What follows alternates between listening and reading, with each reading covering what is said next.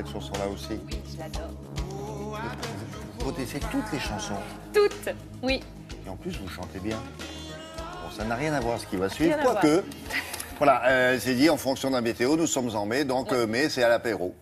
Oui, voilà, c'est comme ça que ça, ça travaille dans la tête de Karine Tessandier. Et elle s'est dit, je vais vous faire des petites, euh, des petites euh, idées gourmandes pour cette heure-là. D'autant plus qu'on le rappelle, parce que je ne sais pas si vous étiez là hier, il y a des heures heureuses de Paris. Expliquez Ah oui. ce que c'est que cette manifestation plutôt Ça, sympa. c'est- vraiment innovant, effectivement. C'est euh, vous vous rendez dans un, un- un parcours finalement, car il y a plusieurs itinéraires qui vous sont conseillés, où vous pouvez vous rendre dans des restaurants, dans des grands restaurants, et pour 2 euros, vous avez la possibilité d'avoir une petite bouchée faite par un grand chef. Donc Mm. 2 euros, c'est plutôt raisonnable pour découvrir la cuisine d'un chef. Et puis vous avez un petit passeport que vous pouvez retirer à la mairie de Paris ou dans les restaurants participants, et on vous met un coup de tampon à chaque bouchée. Quand vous allez dans le, le restaurant qui est Oui. euh, donc euh, euh, partie prenante dans Oui. cette manifestation, vous prenez une bouchée, elle est bonne, c'est Ah tout petit. Non, c'est copieux. Non, non, non, Non, non. c'est gros comment? Parce que vous- êtes tenté d'en prendre une deuxième, Eh ben, c'est le but quand puisque même ce n'est que peu. 2 euros.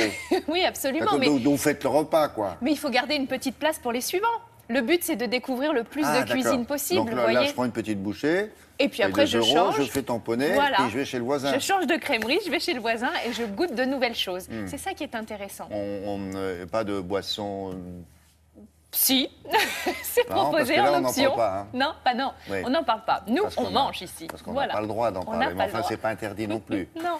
Alors hier, je vous proposais des mini burgers au cabillaud pour changer. Aujourd'hui, tout le monde a la soupe, mais pas n'importe quelle soupe. C'est une soupe avec des lentilles, du boulgour. Donc finalement, c'est un plat complet qui convient très bien pour les C'est végétariens. copieux, ça, dans, une dans un grand bol? Alors moi, j'ai servi en petite cocotte. Vous pouvez le faire en petite verrine. Pourquoi pas? Ça fonctionne aussi très bien en fonction de ce que vous avez à la maison. L'idée, c'est de faire des portions individuelles. hein. Voilà.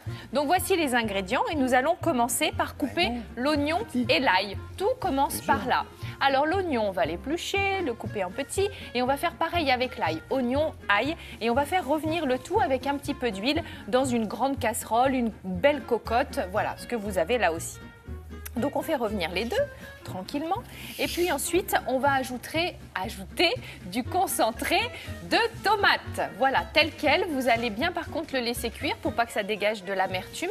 Vous mettez le concentré de tomate et ensuite on va rajouter un petit peu de farine. Voilà, vous laissez bien torréfier le tout et là ça commence déjà à sentir bien bon. Vous avez l'oignon, l'ail, tomate, on va rajouter un peu de cumin, de la farine, ça sent très bon.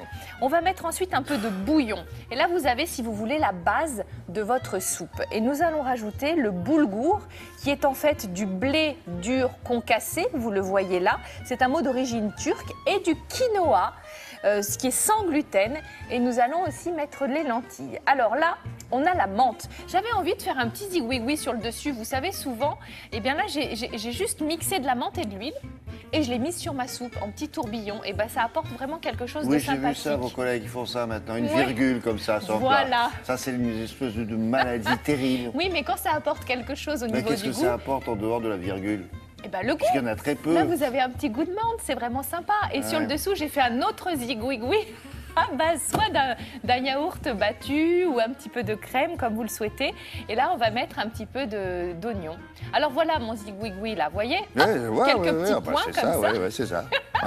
Mais oui, mais ça apporte vraiment un petit peu de fraîcheur, là en l'occurrence, puisqu'on a de la menthe de l'huile d'olive. Vous me faites rire.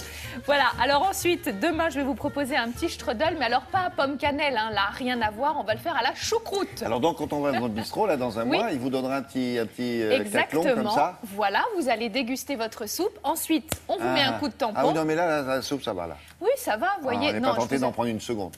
Non. Non, ce qu'il faut, c'est que ça soit petit. Exactement. Et puis, en fait, l'idée, c'est ça, c'est d'avoir plein de saveurs, plein la bouche, différentes. Et ça, Uh-huh. ça nourrit son homme D'accord. ou, ou sa femme. ou sa femme. Merci beaucoup. À demain. hein. Oui, c'est ça. Bah oui. Merci beaucoup. Voici un bloc.